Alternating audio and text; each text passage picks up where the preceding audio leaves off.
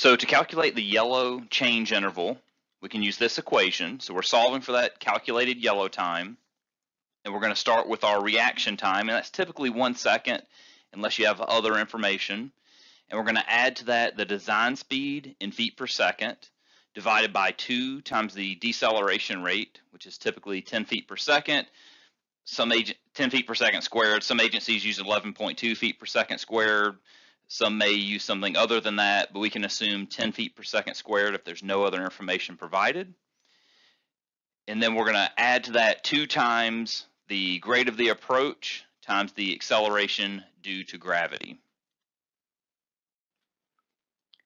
Looking at an example, we're asked to find this yellow change interval for the approach to a traffic signal on a roadway with a 45 mile per hour design speed and a 3% downgrade.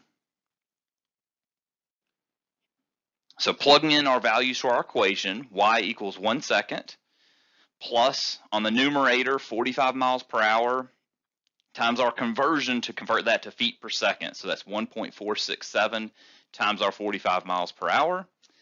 In our denominator, 2 times our deceleration of 10 feet per second squared, plus 2 times negative 0.03 times 32.2 feet per second squared.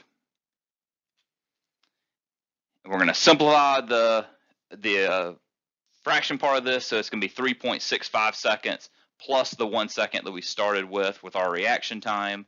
So our yellow change interval is 4.65 seconds, and that is answer D.